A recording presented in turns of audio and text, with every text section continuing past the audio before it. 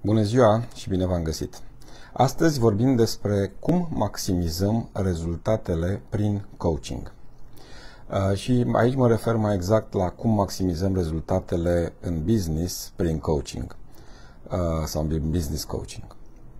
Din experiența de lucru cu clienții mei am desprins câteva elemente care sunt uh, foarte importante, sunt cheie în a avea rezultate din coaching. Și anume, am, uh, în primul rând, uh, am uh, observat că la sesiunile de coaching vin oameni hotărâți că știu exact ce vor să obțină prin coaching, alții știu exact ce vor să obțină în demersul lor de business și alții nu știu ce vor să obțină în demersul de business și nu știu ce vor să obțină prin coaching. Oricare din variante sunt potrivite și coachul cu care lucrați Uh, vă va ajuta prin întrebări să identificați ce vreți să obțineți în business și ce vreți să obțineți în sesiunile de coaching. Uh, este foarte important ca în fiecare sesiune de coaching să știți chiar de la început să lămuriți, să contractați cu coachul și coachul să contracteze. De fapt, este, o, este datoria coachului să contracteze cu clientul ce vrea să obțină clientul în sesiunea respectivă. Că durează o oră, jumătate de oră, 15 minute, oricât durează sesiunea, este foarte important ca în prima parte, în primele minute, să se definească cu claritate ce vrea clientul să obțină de la acea sesiune. Dacă nu faceți asta, sunt șanse mari să intrați în discuții care nu au sens și să ajungeți spre final fără un rezultat. Da? Deci, cel mai important, numărul 1, în primele minute, asigurați-vă că definiți împreună cu coachul ce vreți să obțineți de la acea sesiune de coaching. Dacă este un contract de coaching pe termen mediu și lung, mai multe sesiuni, e bine să aveți definit de la început, din primele sesiuni, dacă nu se poate chiar din prima sesiune, ce vreți să obțineți de la programul de coaching, de la uh, tot contractul pe care îl desfășurați pe o anumită perioadă. Asta să fie cât mai clar, cât mai simplu și dacă se poate și în formă scrisă, este foarte bine să fie. Bine, nu e important să definim scopul sesiunii în formă scrisă, pentru că asta e acum, o ținem minte. Bun, după ce am făcut asta, este foarte important să spuneți, ca și client, să spuneți adevărul. Dacă vreți să obțineți rezultate maxime din coaching, spuneți realitatea practică, pragmatică. Nu vorbiți despre chestiuni care vi le-ați dori, ați vrea să fie, ci vorbiți despre ceea ce este. Ce este realitatea. Așa cum o vedeți voi, dar e foarte important să fie cât mai bine măsurată. Dacă se poate să fie măsurată în numere, în uh, valori, în uh, procente n-aș zice, dar chiar și în procente, dar măcar să, să se știe că atât este, nu să fie aproximare. Nu faceți aproximări în sesiunile de coaching. Atunci când faceți aproximări, de fapt declarația este că nu știți. De multe ori mi s-a întâmplat să uh, primesc răspunsuri aproximativ 100 de mii și de fapt când a făcut calculul a fost ori 150 de mii, ori 60 de mii sau 72 de mii și așa mai departe. E, e o mare diferență între 100 și 72. E o diferență de 28%. Da? E o mare diferență. Și asta este foarte important și pentru că atunci când vă propuneți să dezvoltați ceva prin coaching, nu poți să-ți dai seama dacă s-a dezvoltat dacă nu știi unde te afli când ai început sesiunea de coaching, când ai început programul de coaching. Da? Ca să poți să-ți dai seama dacă ai reușit să evoluezi, să dezvolți ceva, e important să știi unde ești, care este T0. Deci, am spus astea două. Ce este, din nou, foarte important este să puteți să vorbiți despre orice apare în conversație, fără să vă fie teamă că sunteți auziți de altcineva, de persoane importante din viața voastră, de angajați, de parteneri, de colegi, de rude și așa mai departe. Adică, atunci când intrați într-o sesiune de coaching, asigurați-vă că în spațiul din care faceți sesiunea de coaching, mai ales că în ultimii ani uh, a crescut foarte mult acest uh, mod de a face coaching la distanță, prin videoconferință sau prin telefon. Și uh, e foarte important spațiul în care te afli tu ca și client în momentul în care lucrezi coaching cu uh, cineva. Dacă ești la volan și conduci, atenție, vei fi influențat de ce se întâmplă în jurul tău, de trafic, de atenția care ți se va duce pe chestia asta. Mulți vor zice, eu așa mă concentrez mai bine. Ok, înțeleg asta, vă recomand să fiți undeva liniștiți într-un spațiu care vă dă siguranță, nu ai nevoie să folosești creierul și pentru altceva decât pentru sesiunea de coaching și dacă vrei să maximizezi rezultatele din coaching, să te asiguri că nu ești auzit și că nu ai tu impresia că poți fi auzit și să nu auzi zgomote din exterior, să nu fii influențat de ce se întâmplă în jurul tău, să nu, pot, să nu intre peste tine uh, colegi să zică că a apărut o urgență sau să te întrebe ceva, să nu te sune la telefon și tu să răspunzi și să, să nu primești mesaje în timpul în care uh, lucrezi, pentru că toate astea vor schimba uh, sesiunea de coaching și vor schimba rezultatele sesiunii de coaching. Bun.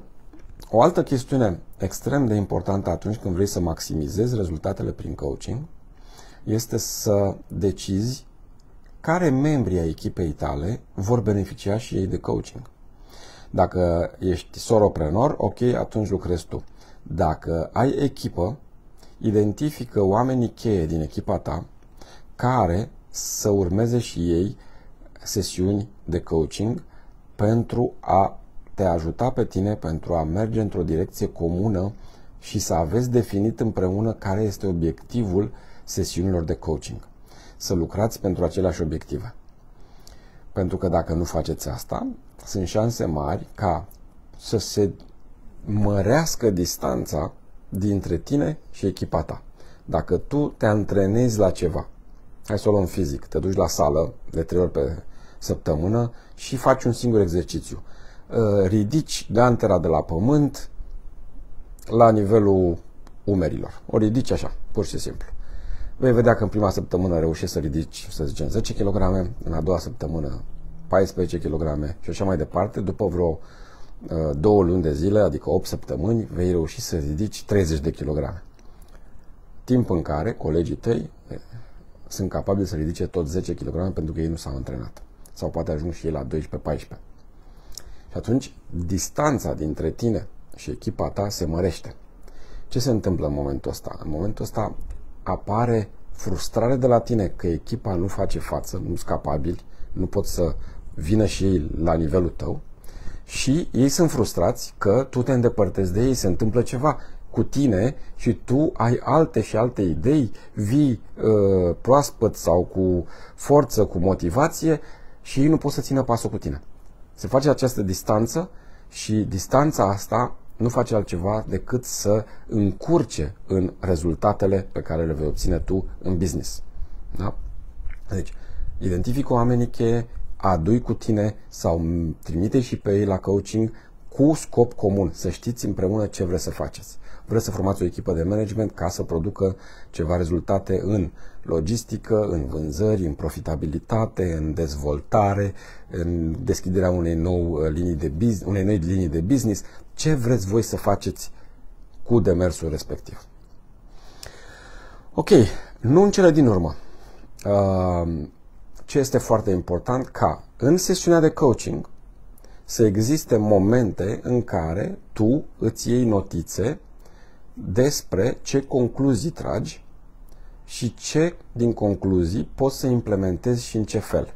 Sau cui delegi și în ce fel.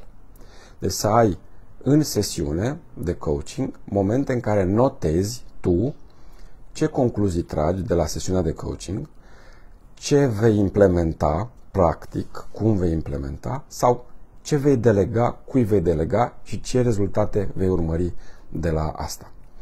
Dacă nu faci asta, sesiunea nu și are sensul, sesiunea de coaching, pentru că o sesiune de coaching trebuie să stabilești ce vrei să obțini, să lucrezi cu coachul și coachul cu tine și să aterizezi având niște concluzii pe care să le iei după aceea să le implementezi în viața ta, de business sau personală dacă vrei.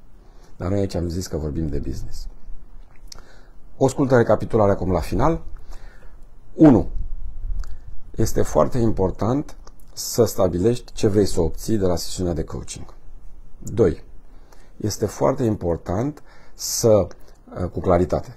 2. E foarte important să stabilești uh, ce, unde vei uh, implementa și cu cine vei implementa rezultatele din sesiunea de coaching. Este foarte important să știi cu cine lucrezi și să-i duci și pe ei în coaching. Este foarte important să tragi concluzii și să implementezi concluzii care să producă rezultate. Toate astea e important să fie măsurabile dacă vorbim de business. Cred că mi-a scăpat ceva, dar uh, reluați încă o dată și vedeți acest video și vedeți ce este potrivit pentru voi și ce vreți să implementați cu adevărat din ceea ce am uh, spus aici. Și în final vreau să vă spun faptul că eu am lucrat sesiuni de două ore, de trei ore, de jumate de oră, de o oră jumate, de 15 minute. Am lucrat chiar și sesiuni de 5 minute de coaching. Am constatat că sesiunile de coaching, cele mai eficace pe care eu le-am lucrat, au fost cele de 15-20 de minute, maxim jumate de oră, în care clientul a plecat cu două, trei concluzii clare, clare, care le poate implementa și după aceea s-a dus să le implementeze. Din sesiunile lungi, de o oră sau de două ore, în care clientul a notat 10 sau 15 sau 20 de concluzii, din păcate, de multe ori concluziile alea rămân pierdute într-un caiet, nu le mai revizuiește și nu reușește să identifice care dintre ele le va implementa. Și atunci, dacă aveți sesiuni mai lungi, în care ați notat 10, 15 sau 20 de concluzii, faceți prioritizarea lor înainte de a ieși din sesiunea de coaching. Care sunt primele două pe care le implementați? Care sunt următoarele două pe care le implementați și, mai, și așa mai departe. Astfel veți scoate rezultate maxime din sesiunile de coaching. Spor la lucru și uh, ne vedem pe linkul uh, pe care dați voi click pentru a lucra împreună timp de 15 minute și fac o nouă grupă de antrenamente care va porni la final de septembrie. Haideți acolo dacă vreți să delegați mai bine, să vă formați o echipă, să fiți mai eficace în a lucra cu echipele voastre, cu oamenii voștri și să puteți să vă eliberați timp pentru a face ceea ce e important pentru voi, pentru viața voastră, pentru familia voastră și pentru uh, a dezvolta afacerea. Spor la lucru!